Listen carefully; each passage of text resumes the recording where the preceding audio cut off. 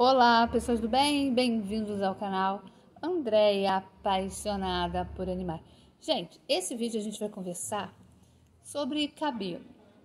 Sim, sobre cabelo. É, nós vivemos numa sociedade extremamente machista e feminista também. Mulheres que decidem assumir os seus cabelos brancos, seus cabelos grisalhos, são muito criticadas pela sociedade, pelos homens e pelas mulheres também.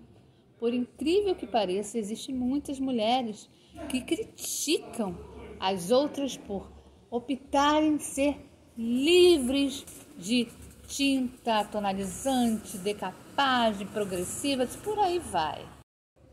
Eu não sei se você do outro lado que é grisalha ou está pensando em ser grisalha, se você já passou por isso.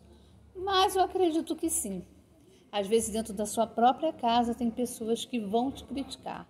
Ou mesmo que não fale, vão te olhar, porque existem olhares que valem por mais que mil palavras, não é verdade, meus amigos, minhas amigas? Então, então, às vezes, dentro da sua casa, dentro do seu círculo de amizade, no seu trabalho, na sua igreja, enfim, onde você convive pode ter olhares ou pessoas que falem: Ah, Fulana, mas esse cabelo está te envelhecendo. Ah, Fulana, por que você não faz, você não pinta de tal cor? Ah, Fulana, aquela cor ficava tão bem em você. Como eu sempre falo, gente, se a pessoa não te pediu a opinião, então para que, que você vai dar? Deixa de ser intrometido, para de dar opinião se a pessoa não te pediu opinião. Eu, sinceramente, já falei aqui e vou repetir para vocês. Eu fico chateadíssima se qualquer pessoa, não interessa quem seja, tá? Pode ser da minha família, pode ser um desconhecido, não interessa. Se me dá, é, vier com alguma crítica, falar de alguma coisa minha, sem eu ter pedido opinião, eu vou ficar bastante chateada, porque eu não gosto. Sinceramente, eu acho isso uma falta de respeito uma falta de educação. Você chegar para alguém e falar assim: "E fulano, seu cabelo tá todo detonado. E fulano, seu cabelo tá muito branco. E fulano, essa roupa você não tem nada a ver com a vida do outro. Se o outro está assim, o problema é dele, o problema é dela. Então a gente não tem que se meter na escolha das pessoas. A gente tem que cuidar da nossa vida. É da nossa vida que a gente tem que cuidar. Porque você acha que essa pessoa que você critica, que você quer dar um. Não, eu só quis ajudar. E a pessoa ainda fala assim, hein? Não, eu só quis ajudar. Só quis dar uma dica para ajudar a autoestima do fulano, da fulana. Que nada. Você jogou a pessoa mais ainda mais para baixo com a sua ajuda. Então, assumir os grisalhos é uma atitude de coragem nessa sociedade que a gente vive, gente é uma atitude de extrema coragem, porque nós, quando decidimos ser grisalhas, assumir nossos cabelos brancos, ficar livre da química, pode, pode ter certeza que vai vir crítica de um lado ou de outro. Você vai ser bombardeada. Outra coisa também que eu vejo nessa sociedade hipócrita que a gente vive é até sobre o comprimento do cabelo. Várias mulheres, agora não vou nem falar dos homens, porque os homens nem se ligam nesse negócio de cabelo grande, cabelo curto, é mais das mulheres. Várias mulheres criticam as mulheres que depois de 40 anos querem ter seus cabelos grandes. Gente, se a mulher quiser ter o cabelo no pé e ela tiver 100 anos, ela vai ter o cabelo no pé. Você não tem nada a ver com a vida da fulana. Se você acha que a fulana ficou velha porque estava de cabelo grande, o problema é seu, a fulana não te pediu opinião. E se a fulana tá feliz, então que ela seja feliz e você cuide da sua vida. Eu acho um absurdo essa sociedade de falar, impor que a mulher tem que cortar o cabelo depois de 40 anos. Que isso? Onde está escrito isso? Onde tem uma lei, tem um decreto que seja mulheres depois de 40 anos têm que cortar o cabelo curtinho porque senão elas vão ficar uma velha. E mesmo que ficasse uma velha, e mesmo que ficasse uma velha, se a mulher quer ter o cabelo grande, É o direito dela. Ninguém tem nada a ver com isso. Então, amadas, se você aí do outro lado está querendo ser grisalha, vai, foco, foco, fé e coragem, porque você vai sofrer sim críticas. Isso aí é inevitável. Inevitável que tem gente que não consegue ficar com a boca dentro, é, com a língua dentro da boca, tem que falar. Mas seja forte, mantenha o foco. Bem, eu, como eu já falei para vocês, eu estou muito satisfeita porque agora eu tenho um cabelo saudável, um cabelo que tem brilho, tem maciez, não tem porosidade. Mas eu às vezes sinto vontade de ser loura de novo. Sinto, porque eu sempre fui loura, eu sempre amei ser loura. Mas hoje eu tenho outra visão. Hoje eu sei que para ser loura você precisa de tempo e de dinheiro. Você precisa das duas coisas. Porque o cabelo louro você não trata ele em casa. Você não vai conseguir tratar o seu cabelo louro com produtos de farmácia. Você não vai. Você vai precisar de produtos profissionais. Você pode até comprar produtos profissionais e tratar na sua casa, mas você vai precisar de dinheiro, porque tudo para cabelo louro profissional é muito caro. Então, às vezes, claro, dá aquela vontade de ser loura de novo. Já senti essa vontade várias vezes. Mas vontade é a coisa que dá e passa. Vem aquela vontade, olha assim, me imagino loura de novo. Que, modesta parte, eu ficava muito bem de loura, tá?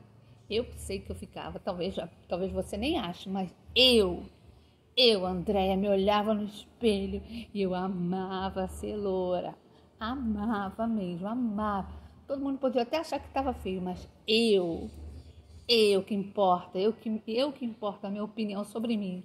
E eu me achava o máximo, eu achava meu cabelo louro, mesmo estando todo detonado, porque ele estava todo detonado, mas eu me achava maravilhosa de loura. Então, ah, claro, aquela vontade de ser loura de novo, claro, né?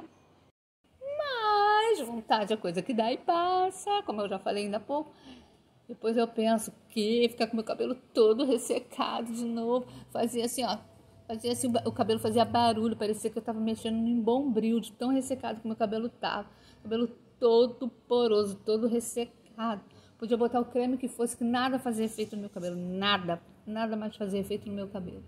Aí eu, opa, desisti de ser loura. Quando penso, vem esses pensamentos, eu desisto. Porque eu não tenho mais tempo para isso, pessoal. Eu trabalho muito. Saio de casa às 5 horas da manhã, chego em casa às 9 horas da noite, segunda a sábado.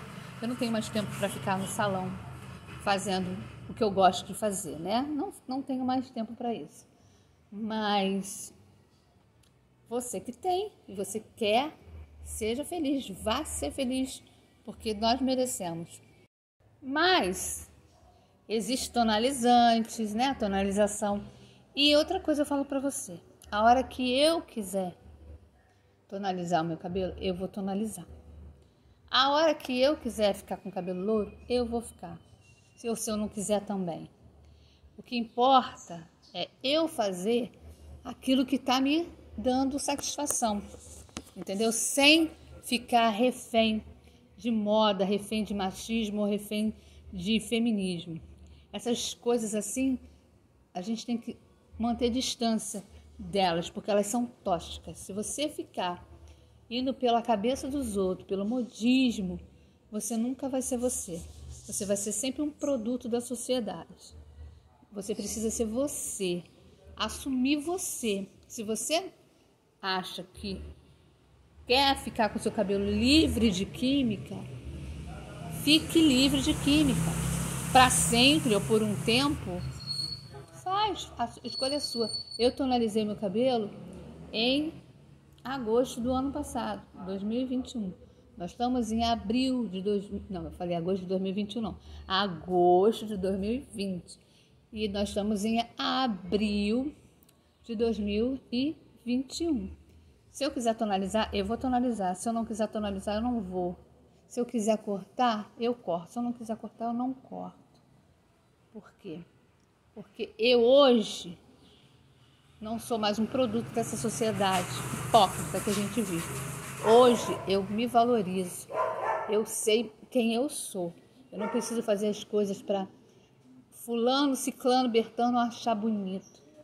Não, eu faço para eu ficar feliz, para eu me agradar, primeiramente, porque nós precisamos se amar. Se você não se ama, minha amiga, quem vai amar você? Essa é a pergunta que eu te deixo aí. Ó. Se você não se ama como você é, quem vai amar você? Você vai encontrar um montão de gente para te criticar, dizer que você está gorda, que você está magra, dizer que você está velha, dizer que seu cabelo está branco, dizer que seu cabelo tinha que cortar, que tinha que isso, aquilo, aquilo, aquilo, aquilo. Não tem mão para caber de tantas críticas que vai vir para cima de você. Se você for escutar todas essas críticas, você não vive. Você vai ficar estacionada, parada. Dá um chute em tudo quanto é crítica. Saia de perto de todo mundo que gosta de te botar para baixo.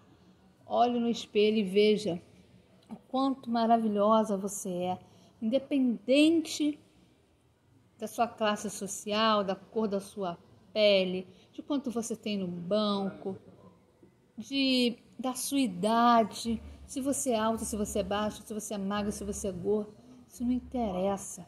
Quando a gente se ama, a gente se ama por inteira, por completo. Então esse vídeo é para estimular você, mulher, a se amar, a se valorizar. Seja você, como você quiser ser. Se quiser pintar seu cabelo todo mês, toda semana, manda ver. Não quero nunca mais fazer isso, não faça. Ou quero fazer às vezes, vez ou outra. Que acho que o meu caso vai ser bem por aí. Uma vez fazendo, outra vez não fazendo. O meu, pelo, pelo, pelo que eu vejo, eu vou ser assim. Quando dá na telha, eu vou fazer. E quando não der na telha, eu também não vou fazer, né? E bora lá, bora ser feliz, que isso que importa, tá? E os grisalhos são lindos. São lindos, são lindos, independente da sua opinião. Talvez você esteja vendo e falando, eu não acho.